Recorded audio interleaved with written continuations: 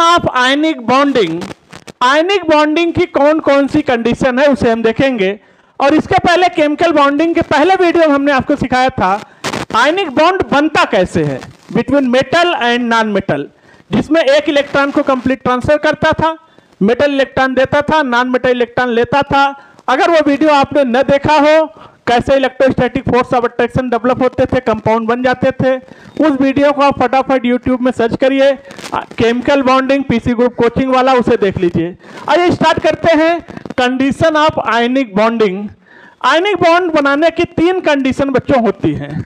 सबसे पहली condition ionization energy of metal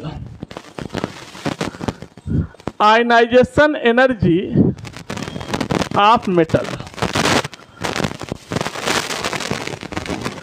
क्योंकि आयनिक बॉन्ड बना रहे हैं तो मेटल और नॉन मेटल दोनों चाहिए।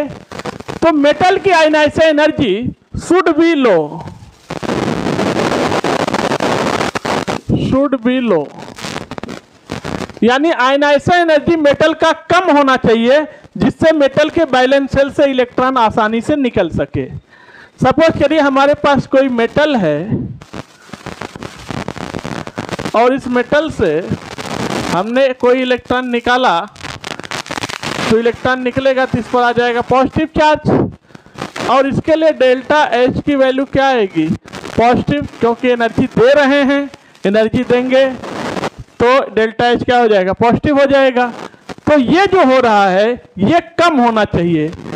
यानी पॉजिटिव चार्ज जितने आसानी से मेटल पर आएगा, ये नॉन मेटल को उतने आसानी से, उतने ज़्यादा तेज़ी से खींचेगा।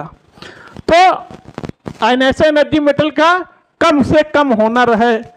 तो मेटल की आयनेशन एनर्जी जितना कम से कम रहेगी आयनिक बॉन्ड बनने के लिए उतना अच्छा रहेगा। Electron affinity of non metal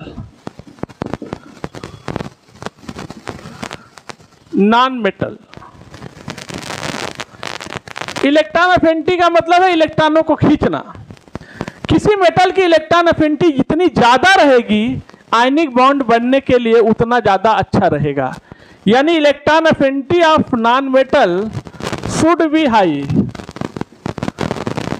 should be high ज़्यादा से ज़्यादा रहे। सपोज़ करिए, हमारे पास कोई नॉन मेटल है एक्स इसमें हमने एक इलेक्ट्रॉन डाल दिया। प्लस कर रहे हैं। तो ये हो जाएगा x माइनस। इसके लिए डेल्टा एच की वैल्यू क्या आएगी? निगेटिव यही क्या है? इलेक्ट्रॉन अफिनिटी तो इस इलेक्ट्रॉन अफिनिटी की वैल्यू ज़्यादा से ज़्यादा रहे। जितना ज़्यादा निगेटिव चार्ज आएगा, उतना ही जल्दी से ये पॉजिटिव इसको अपने तरफ़ खींच पाएगा। इसीलिए कहा जाता है मेटल की आयनाइजेशन एनर्जी कम से कम हो, लेकिन नॉन मेटल के इलेक्ट्रॉन अफिनिटी ज़्यादा से ज़्यादा हो किसी भी आयनिक बॉन्ड बनने के लिए। तीसरी कंडीशन के lattice energy of compound compound किसी कंपाउंड की लाइटिस एनर्जी हाई होनी चाहिए। शुड बी हाई ज़्यादा से ज़्यादा लाइटिस एनर्जी रहे तो आयनिक बॉन्ड बनना ज़्यादा अच्छा रहेगा। सपोज़ करिए हमारे पास कोई गैसवस मोल कैटायन के हैं मेटल्स के हैं और कोई गैसवस मोल एनायन के हैं। और जब ये कंडेंस करेंगे, कंबाइन करेंगे तो एक मोल आयनिक सॉलिड बनाएँगे। बन गया एम एक्स और ये क्या है? सॉलिड है। कितना है? One mole. तो इस दौरान जो एनर्जी रिलीज़ हो रही है, यही क्या है? Lattice energy.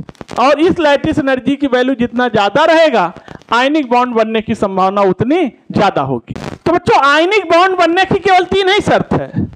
Ionization energy of metal should be low, electron affinity of non metal should be high, and lattice energy of compound should be high. अगर ये तीन कंडीशन रहेगा तो बहुत आसानी से आयनिक बॉन्ड बन जाएगा।